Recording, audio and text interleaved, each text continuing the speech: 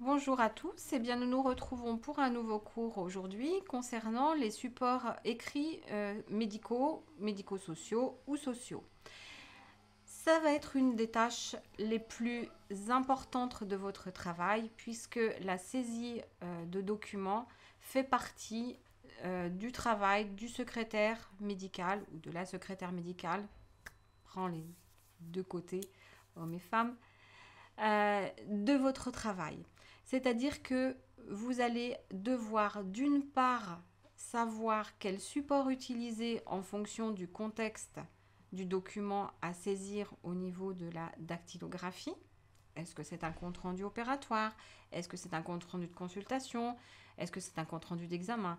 Ça, vous devrez le retrouver, savoir quel type de support j'utilise. La dictée vocale, est en cours de déploiement sur beaucoup d'établissements. On entend beaucoup parler de euh, cette euh, dictée vocale. Il faut bien replacer les choses dans le contexte, c'est-à-dire que la secrétaire, qu'elle soit médicale, juridique, administrative, aura toujours de la frappe à faire. Actuellement, on a des outils qui se développent sur le marché du travail et on entend dire Ah oui, mais la secrétaire médicale bientôt elle fera plus de courrier. Oui, ça va peut-être. En tout cas, à aujourd'hui, cette saisie, elle est encore existante. Donc, on va aborder ce, chapitre de support euh, de, saisie de documents médicaux en abordant effectivement que, de quel outil je me sers pour travailler, de quel support j'ai besoin pour retranscrire ce que le médecin m'a dicté et comment je m'y prends. Dans les outils qui sont actuellement en cours de déploiement, nous avons deux types de dictées.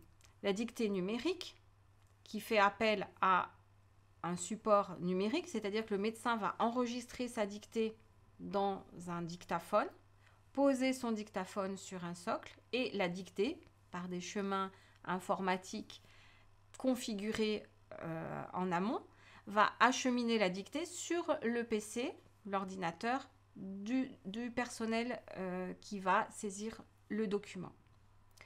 C'est un petit fichier son que vous allez traiter parce que vous allez le recevoir sur votre PC. Et puis nous avons une seconde, euh, un second type de, type de dictée qui s'appelle la dictée vocale. Il faut bien faire le distinguo entre numérique et vocal. Numérique fichier son qui, qui va être euh, qui va arriver sur le, PC du travail, enfin de la secrétaire et euh, la dictée vocale qui va être carrément dictée par le médecin dans un appareil et le texte va se retranscrire tout seul. C'est-à-dire que nous n'aurons pas besoin des doigts de la secrétaire ou du secrétaire médical qui va saisir le texte. La, secrétaire médicale va euh, simplement avoir un rôle d'ajustement du document. C'est-à-dire que le document va se, dicter, va se dactylographier tout seul en fonction de ce que le médecin aura euh, dicté. Mais la secrétaire aura juste à mettre en page son document, corriger les éventuelles fautes, un homonyme, un mot qui aurait été pris pour un autre, puisque n'oublions pas que c'est une machine, un robot qui va retranscrire et euh, le vocabulaire euh, va peut-être être mal entendu par le système informatique et va être mal retranscrit. Donc la secrétaire doit relire, remettre en forme, corriger les fautes, mettre de la ponctuation. Donc nous avons ces deux types de dictées.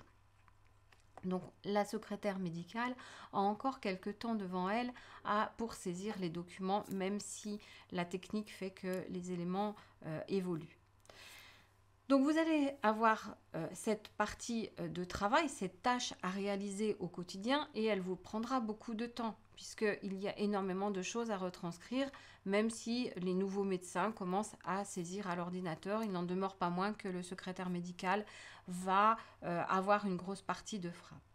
Dans ces documents, vous allez avoir, donc quand on parle de supports médicaux écrits ou médicaux sociaux ou sociaux, nous retrouvons la lettre de consultation. Nous retrouvons le compte-rendu d'examen. Nous retrouvons les comptes rendus opératoires. Nous retrouvons la lettre de liaison qui, est, qui était auparavant appelée compte-rendu d'hospitalisation. Maintenant, elle s'appelle lettre de liaison.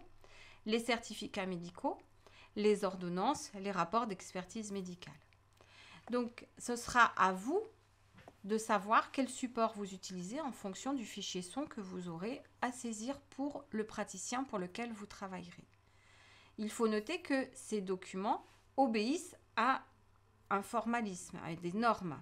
Le courrier de consultation, par exemple, qui est un courrier qui va être adressé à un médecin correspondant, va être constitué comme une lettre administrative, c'est-à-dire avec les normes AFNOR.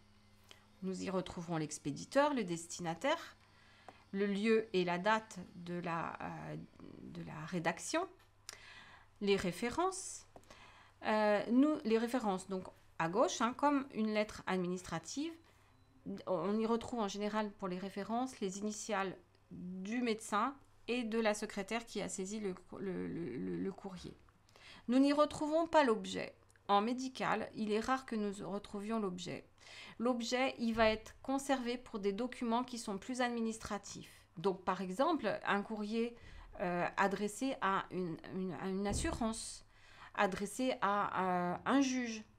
Là, on a une notion juridique derrière, une notion plus administrative. Donc, nous y mettrons l'objet. En médical, si un médecin écrit à un autre médecin, nous ne mettons pas d'objet.